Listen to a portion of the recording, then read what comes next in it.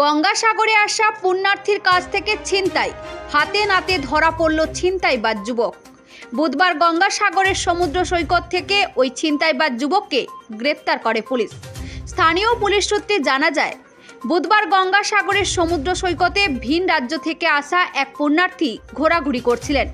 সেই সময় এক অজ্ঞাত পরিচয় যুবক ওই পুণ্যার্থীর কাছ থেকে কিছু জিনিস ছিনতাই করে পালাচ্ছিল। আচমকায় হাত থেকে জিনিস ছিনতাই হয়ে যাওয়ার কারণে ওই পুণ্যার্থীর চিৎকার শুরু করে দেন।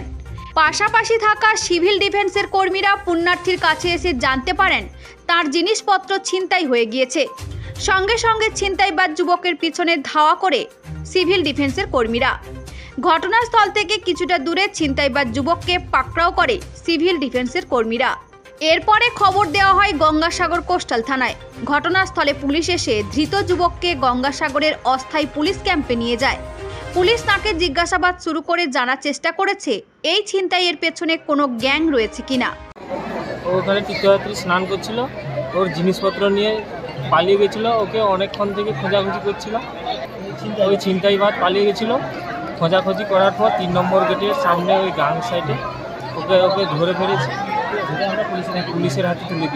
গঙ্গাসাগর থেকে সৌরভ মন্ডলের রিপোর্ট বেঙ্গল আইকন নিউজ।